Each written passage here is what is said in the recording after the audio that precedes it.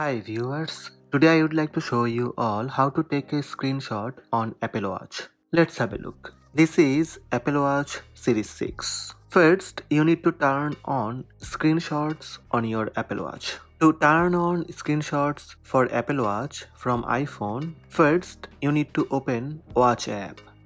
In My Watch, scroll down little bit and tap General. Scroll down little bit and find out Enable Screenshots. Just toggle on Enable Screenshots. When this is on, you can take a screenshot of your Apple Watch display by pressing the side button and the digital crown at the same time. Screenshots are saved in the camera roll on your iPhone. That's it. Go back and save the changes. Similar way, you can turn on screenshots from Apple Watch. So first press digital crown button to access app screen. From app screen tap settings.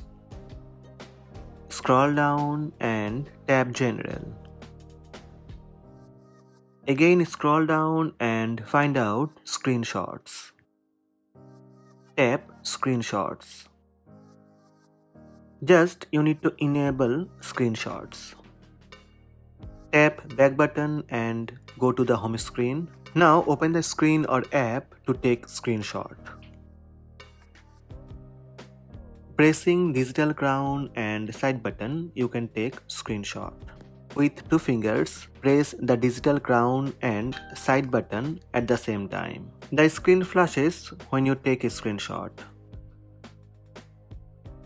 To find your screenshot, go to Photos app on your iPhone, tap Albums, then tap Screenshots. That's it. These are the steps to take screenshot on Apple Watch Series 6. Hope this video help you. Please subscribe my channel by tap subscribe button. Also tap the bell icon to receive notifications about all new videos.